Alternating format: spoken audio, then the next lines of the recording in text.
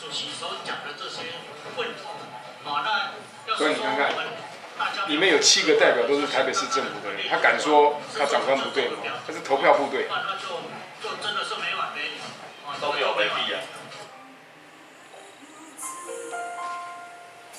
这应该是博文做的吧？嗯，做的，博文剪接的。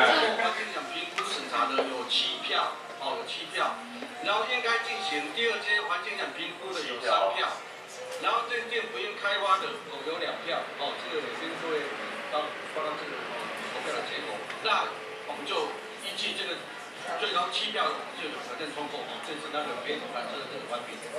上一次第一二二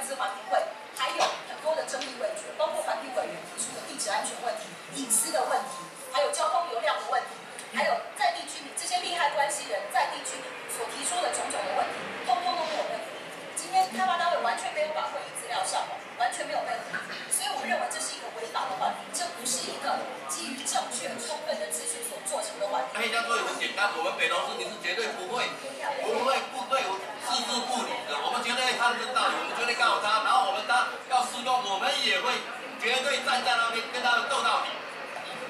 教授学问，他其实知道这个地质它是脆弱的，它比猫还更弱，它的安全完全不可信。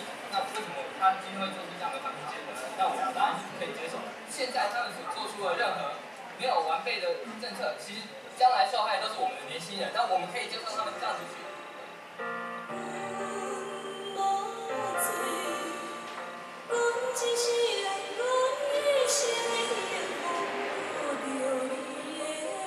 这个会当证据，要行高兴。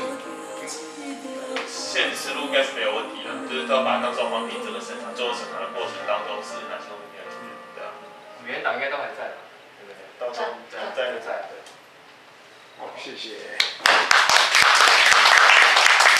那我们今天大概时间也差不多，那我们再开放最后最后一个问题，有没有还有什么问题要请教陈老师？我自然或是我们那几个年轻人都可以，都可以，都可以。我们是一个团队。那如果没有的话，那我是觉得说这个运动不只是说需要在地人，还需要很多需要很我需要很多其他关心这个议题的朋友，我们一起来支援。虽然我也不是我不是住北投，但是我们还是要大家可以持续来关心这样的一个议题，然后给当地人更更多的支持跟鼓励，然后大家可以做的事情很多，不一定你要。到现场抗议，但你愿意来，我们也很高兴。你在脸书上帮忙转载，把这件事情的不合理的地方多告诉一个人，他再传下去，其实对这个整个社会环境的氛围就会影响很大。尤其在台北市比较教育水准比较高的地方，我相信有理智的人都会知道这个政府是多么的压霸。那个会议场，我每我每场经常经常被挡在外面啊，包括维格小学的案子啊，内五子的案子，我也被挡在外面好几次了，反正我们都很熟悉啊。对对对，那所以其实透过这个影片，更让大家清楚的知道说，北投缆车不止北缆，很多开发案都充满了很多的谬误之处啊。那今天再次感谢我们陈慧杰老师还有志海。好，也谢谢你们的时候，谢谢我们这几个年轻人，站起来要给谢谢。这博文，然后呢少年，你看都是。